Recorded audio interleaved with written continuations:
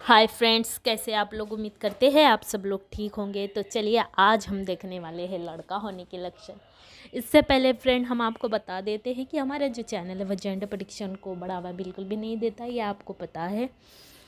और फ्रेंड हम जो बताते हैं, वो अपना ही एक्सपीरियंस आप लोगों के साथ शेयर करते हैं। तो हमारा एक्सपीरियंस आप न्यू जो लेडी प्रेग्नेंट होती है, उनके लिए हम कुछ ऐसे लक्षण बताते हैं जो हम में दिखे थे और कुछ महिलाओं में दिखे थे। तो बेबी क्या होता है, लड़का होता है या लड़की होती है, वही हम आप बताने की कोशिश करते हैं। और ये सिर्फ़ अनुमान लगाते हैं, ये कुछ हंड्रेड परसेंट सही नहीं होता। बट एक माँ की क्यूरेसी होती है कि जब वो कंसीव करती है तो गर्भ में लड़का है या लड़की, उन्हें जानने की क्यूरियसिटी बनी रहती है।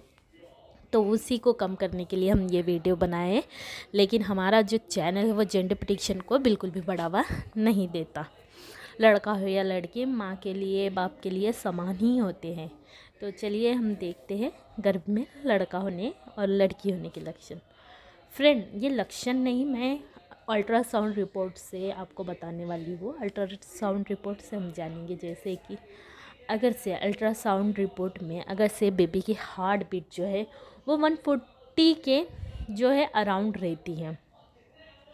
उसके नीचे रहती है, वन फोर्टी के नीचे, या फिर वन फोर्टी फाइव तक ऐसी रहती है तो बेबी बॉय होने की संभावना बढ़ जाती है, ऐसा कहा जाता है और ऐसा माना जाता है।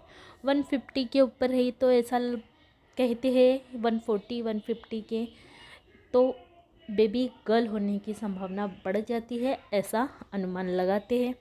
अगर से और फ्रेंड आप हमारे चैनल पे नए आए हैं तो प्लीज़ आप हमारे चैनल को सब्सक्राइब ज़रूर कर दीजिए और कमेंट्स में ज़रूर बताइए, आपके अल्ट्रासाउंड रिपोर्ट में आपकी बेबी की हार्ट बीट कितनी है?